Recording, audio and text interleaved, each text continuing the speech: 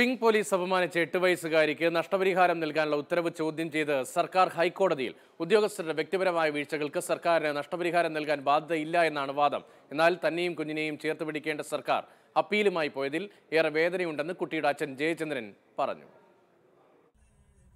ആറ്റിങ്ങലിൽ pink police ഉദ്യോഗസ്ഥ അപമാനിച്ച എട്ട് വയസ്സുകാരിക്ക് ഒന്നര ലക്ഷം രൂപ നഷ്ടപരിഹാരം നൽകണമെന്ന ഹൈക്കോടതി സിംഗിൾ ബെഞ്ച് ഉത്തരവാണ് സർക്കാർ ചോദ്യം ചെയ്തിരിക്കുന്നത്. ഇത് പോലീസ് ഉദ്യോഗസ്ഥയുടെ വ്യക്തിപരമായ വീഴ്ചയാണ്. ഇതിന്റെ ഉത്തരവാദിത്വം സർക്കാരിനില്ല. അതുകൊണ്ട് തന്നെ സർക്കാരിന് നഷ്ടപരിഹാരം നൽകാനാവില്ല. ഇതാണ് ഡിവിഷൻ ബെഞ്ചിൽ നൽകിയ അപ്പീലിലെ പ്രധാന വാദം. സിംഗിൾ ബെഞ്ച് മുൻവിധിയോടെയാണ് കേസിനെ സമീപിച്ചതെന്നും വിമർശനമുണ്ട്. പിങ്ക് പോലീസ് കേസിൽ കുട്ടിക്ക് നഷ്ടപരിഹാരം നൽകാൻ കഴിയില്ലെന്ന് നേരത്തെ സിംഗിൾ ബെഞ്ചിൽ സർക്കാർ നിലപാടെടുത്തിരുന്നു. ഇത് തള്ളിയാണ് ജസ്റ്റിസ് ദേവൻ രാമചന്ദ്രൻ നഷ്ടപരിഹാരത്തിന് ഉത്തരവിട്ടത്.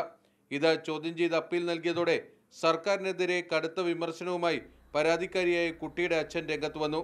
പിങ്ക് പോലീസ് കേസിലെ നഷ്ടപരിഹാര ഉത്തരവ് അംഗീകരിച്ചാൽ ഭാവിയിൽ സമാനമായ മറ്റു കേസുകളിലും സർക്കാരിന് വലിയ ബാധ്യതകൾ ഏറ്റെടുക്കേണ്ടി വരും.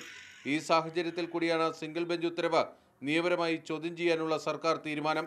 ഈ എട്ട് വയസ്സുള്ള കുട്ടിയോട് ഇത്രയും ഗുരുതരായ ഒരു നീതി പീഠം കാണിക്കുമ്പോഴത്തേക്ക് നമുക്ക് എന്ത് ചെയ്യാൻ പറ്റും? അപ്പോഴും മുന്നോട്ട് പോകുകയല്ലേ അല്ലെന്നുണ്ടെങ്കിൽ മുന്നോട്ട് പോയില്ല എന്നുണ്ടെങ്കിൽ എന്നെ ചേർത്ത് നിർത്തിയ ജനങ്ങളെല്ലാവരും എന്നെ തള്ളി പറയുകയെല്ലാം ചെയ്യുകയല്ലേ ചെയ്യുന്നത്? മാതൃഭൂമി ന്യൂസ് കൊച്ചി